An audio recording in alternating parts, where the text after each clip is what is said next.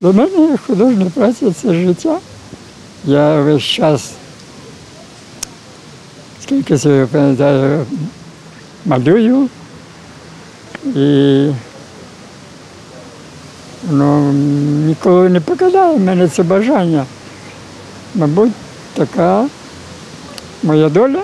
У листопаді цього року відомому хмельницькому художнику Михайлові Андрійчуку виповниться 93 роки. Попри поважний вік, він досі працює. Наразі створює графічну абетку для наймолодших українців. Торік за заслуги перед містом та за багаторічну творчу працю Михайло Омелянович став почесним громадянином Хмельницького. У день міста усіх почесних громадян, а тих, кому це звання присвоєно посмертно, то їхніх рідних запросили до мерії. Тут презентували книгу, під обкладинкою якої зібрана інформація про усіх достойників Хмельницького. Цього року перед Днем міста, знову ж таки аналізуючи успіхи і здобутки, ми задумались над тим, що результат, успіхи, е, зміни в місті вони відбуваються в першу чергу завдяки хмельничанам.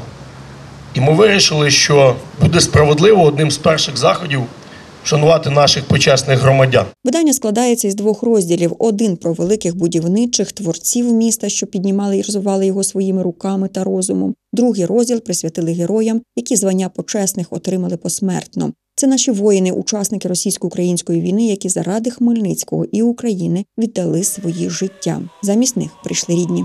Це дуже важливо для всіх сімей, що про нас пам'ятають. В кожного кінчилося свято в той день, коли загинула його рідна людина. І ми всі маємо рани душевні.